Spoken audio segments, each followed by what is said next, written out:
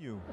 Hi, Harriet. Hi. I am actually back to the Green Expo and I'm at the Confirmit booth um, and I'm joined by, by Wally. Welcome, Wally. And um, of course, the theme of our conference is visionary, so it's all about you know where we're going from here and where the market research industry is going. Yeah. So, what do you think? Where where is market research going in the next 10 years? In the next 10 years, we'll probably be overtaken by robots. Uh, automation's playing a huge role in um, the industry at the moment. I think uh, more importantly, we're due for another shift in technology. Um, you know, 10 years ago it was all about the internet.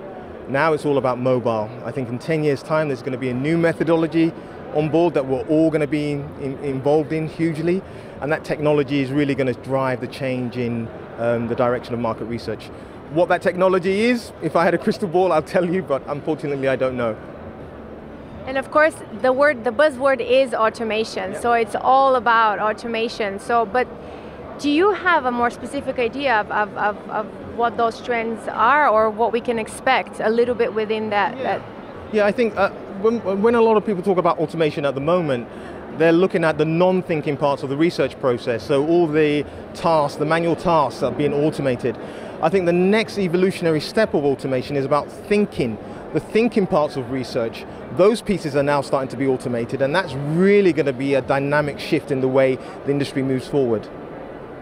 It sounds very interesting. And how, how does Confirmit fit into all, all of this? How, what about the company? What are some of the latest innovations and things that you guys are working on? I mean, I wish I could tell you our latest innovations. I'll probably have to kill you if I did.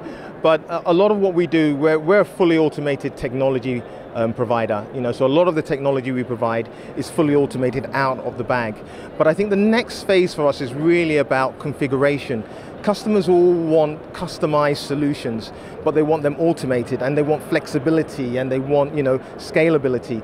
And in order to achieve that, you've got to be able to configure those things together. And that's a lot of the direction that our de um, development strategy is heading towards. Configuring automated tasks, making them more efficient, more scalable, and more efficient.